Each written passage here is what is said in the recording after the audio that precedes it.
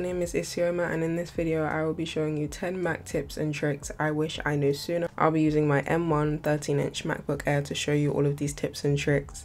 These tips do work on both iMacs and MacBooks, however some features will only work for devices with an M1 chip or later. If you like productivity and tech related content then follow me on Instagram and TikTok. Without further ado let's get straight into the video feature slash tip I'm going to be showing you guys is a feature called split screen. This feature allows you to have two apps open side by side. To enable this feature, all you have to do is hover over this green button and then click tile window to left screen and then choose what window you would like open at the same time. You do have to make sure that you have two apps open at the same time. You can't go into split screen and then suddenly open a new app. The apps already have to be open in order for this to work. I usually have my emails open at the same time as my calendar. This feature is also perfect for students. You can write your assignments and have your case studies or your research open at the same time. You can also have two tabs open at the same time. So let's say on one tab you have Google and then on the next tab you have, let's just put a random website. So if you want to split your screen and have both of these tabs side by side, you would just click on one tab and drag it away and then hold down or hover over this green button and click tile window to left screen and then just select your other screen. And now you've got two tabs open at the same time. You can scroll on both of them at different times as well. And you can type on each one separately also.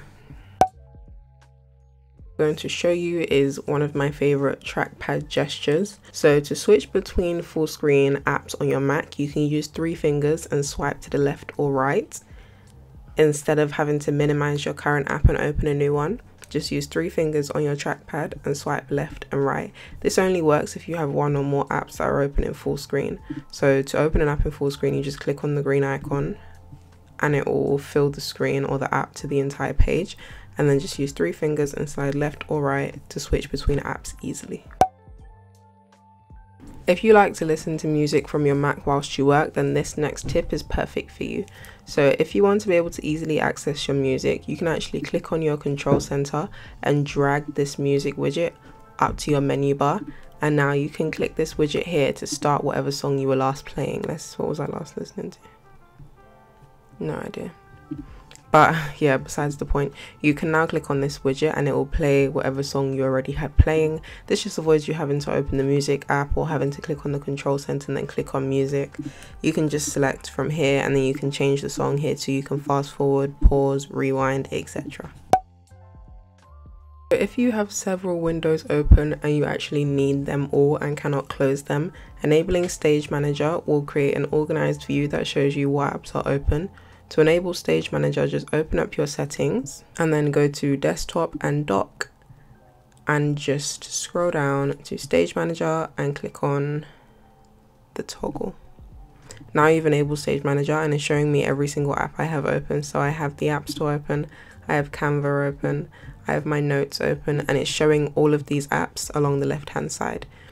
The one annoying thing about Stage Manager is your apps are not full screen in this view but you can drag from the edges to make the screen bigger or you can just put the apps into full screen mode and then just click S when you want to come out and then when you come out you can view what apps you still have open. To disable Stage Manager you can either go back to your settings and then click on desktop and dock or you can go to your control center and click this button and it will disable Stage Manager and now the apps are all disorganized again and I can't tell what's open and what's not and this is the view with Stage Manager.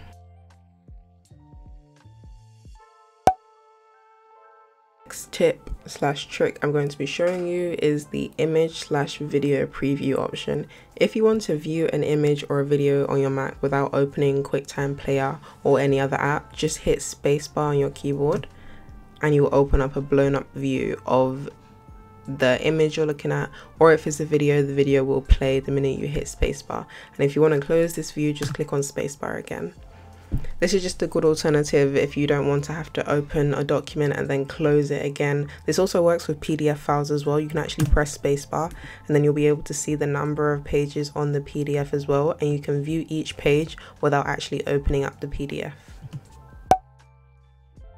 So the next tip slash trick I'm going to be showing you is a background eraser.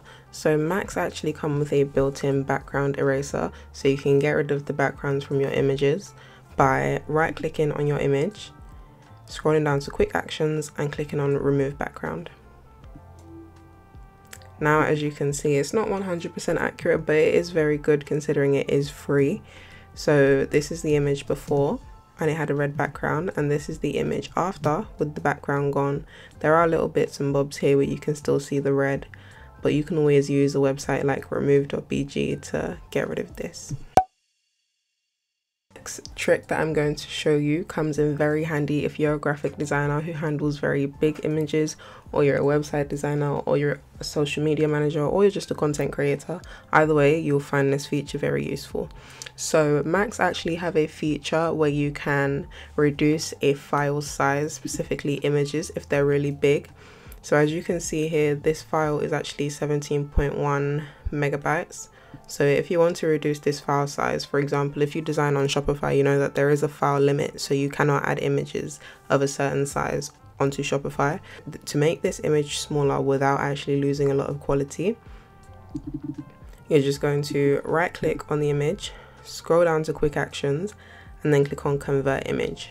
Now here you've got this box that allows you to change the format of the file so you can change it from a JPEG to a PNG and then you here you can change the image size so you can change it to a small file which would be 22, 81 would be medium or large is 276.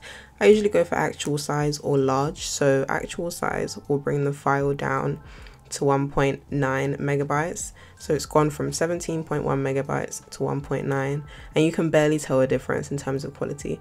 This is the image, the bigger image, and this is the compressed image. And as you can see, there's very, very little difference, but yet the file has gone down by over 10 megabytes. So if you are like me and prefer mouses to trackpads, then you probably hate the fact that Mac trackpads do not automatically allow you to right click. I think usually you have to use two fingers and press down on the trackpad to get um, extra options.